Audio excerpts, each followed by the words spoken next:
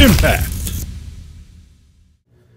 Hey, what's up guys? It's Dan Kleckner here for your weekly golf video and today we're going to keep it simple. I'm just going to show you guys top three hip stretches to do. So uh, last week we went over T-spine stretches. Today we're going to go over hip stretches. Hips are obviously very important in the golf swing. Um, most golfers are super tight in their adductors and hamstrings so I'm going to show you guys a couple stretches for that today. Um, what happens when we're tight in our adductors and hamstrings is we get in our swing and we get a lot of lateral shift in our swing, which can make an inconsistent swing and also make us leak power when we're trying to store and release energy. It's trying to stay stable, instead we're all over the place, knees are shifting, we get that sway back in our swing and leads to a lot of inconsistencies and power leaks. So I'm gonna show you guys a couple hip stretches today um, to help get those um, adductors and hamstrings flexible again and create a more consistent, powerful swing. So first one we got is just our quad hip flexor stretch. So we're gonna go kneeling right here. We're gonna get knee into the pad.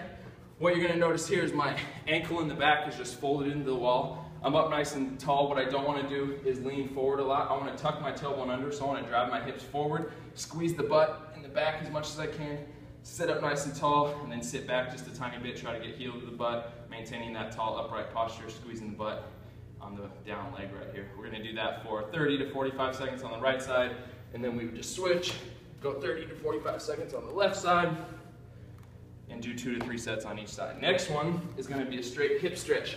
So this one's kind of a funky looking stretch, but very good to open up the hips. So what we're doing is getting knees out and toes out here. I'm getting my forearms into the ground, and then all I'm trying to do is just sit my hips back as far as I can.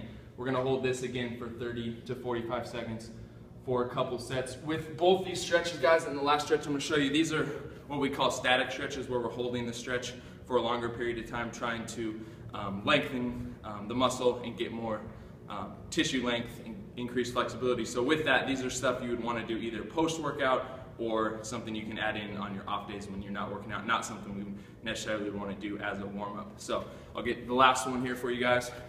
All right, guys, last one here we got is a great active and passive hamstring stretch. So I got an active stretch on this left leg where I'm driving my heel into the rack as much as I can. I got my butt all the way up against the rack. You can do this in a doorway or wherever you got room as well. And I relax, make sure I'm driving this heel as much as I can into the rack the whole time.